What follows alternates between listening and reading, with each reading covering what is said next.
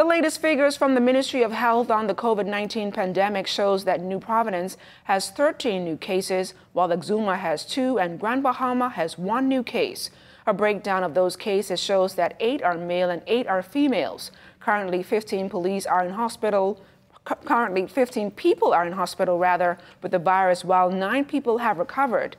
The latest COVID dashboard also showing that a 62-year-old male resident from here in New Providence died from COVID yesterday. Meanwhile, the national count of COVID-19 cases now stands at 7,887.